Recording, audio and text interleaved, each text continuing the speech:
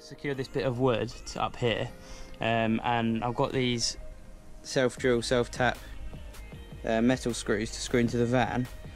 Um, but because of the thickness of the wood, I'm going to have to counterbore the wood, so the screw head will sit inside the um, bit of wood slightly, and then it will give it enough length on there to, to screw into the van as well. So these are my screws. Um, I've got a 13 mil spade bit here.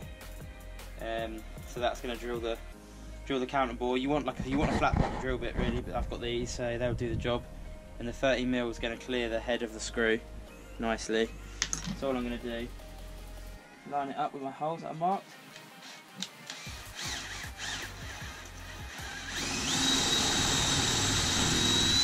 About halfway down.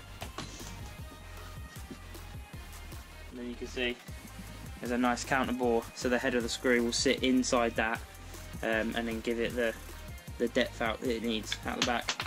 I've just uh, put my screw in, so you can see that it's sitting in there now, see what I mean? Um, so it's only poking out that much, so basically I need to do, drill my counter bore a lot deeper. So I'm just going to keep doing that until I find the right depth and then do them all to that depth.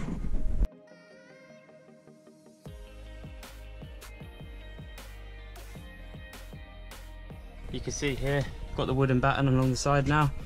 Screws, counterbored in. That's nice and sturdy. That's not going anywhere. And the same this side.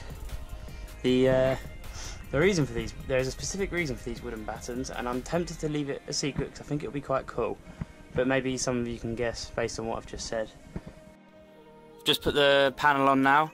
So I've used these uh, self-drill, self-tap nut or bolts, what you want to call them, um, into the wood at the top. This side wall of the van, it sits flush against here and flush against here. Um, and you can see there's quite a big gap, maybe around 30 or 40 mil, um, especially at the bottom here. So the wall will sit along here and then it wants to continue straight. But because there's no support this side, basically what happens is the wall, if we take this as the wall, it starts to slope in on an angle like that. You can see this black straight line along here. So what happens when the wall is fitted against there, obviously I want it nice and straight following that black line, but because it's flexible ply, as it tends, to, especially towards the end, what happens is the, the, plywood ends up sitting in that corner like that on this on this big angle. Um, so what I'm going to do is put a, put a bit of wood in here to act as a support following on from this wall. So the back of the, the, the front part of the wood will be in line with this, and then it will give the ply wall something to sit against and screw the bottom into. So what I've got to do this with, I have some wood here. So I find an appropriate bit out of my stock of wood. This is a supporting piece of wood that's going to support the bottom of the wall. Um, so I've just marked out where the battens are roughly and then marked out roughly where I'm just going to screw in. Um, so the wood is 30 mil thick, the floor's 9 and the battens are 25. Um, so I've got these 50 mil screws which will go through the, uh, the wooden support, the floor and dig into the batten a little bit as well.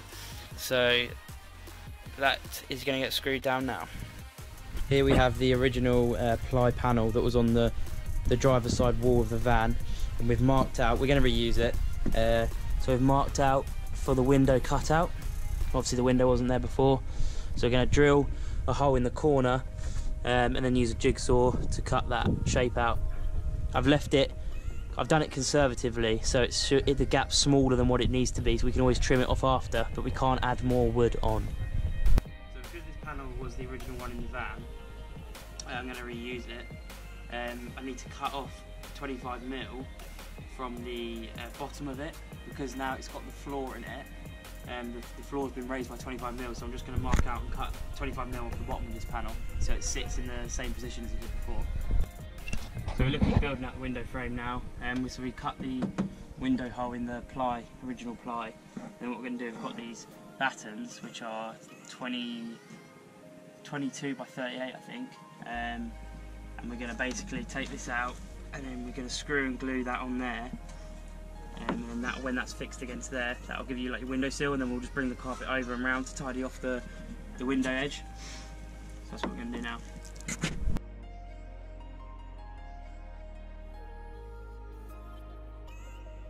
We just screwed the uh, window frame to the um, ply wall just to mock it up and see what it fits. So we just got a few adjustments to do um, and then that'll be ready to be have a bead of adhesive ran around it and then uh, and then screwed to the ply wall. I'm just going to run a little bead of some adhesive along the batten and then screw it onto the ply wall.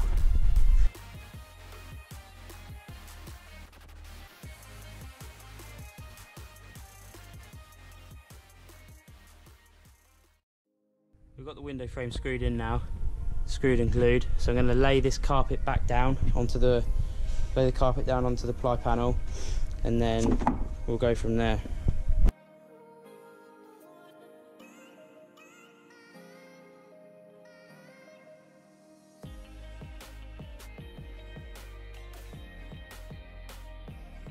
screwed to the van. We're going to cut this window carpet out and look at uh, carpeting around the window frame.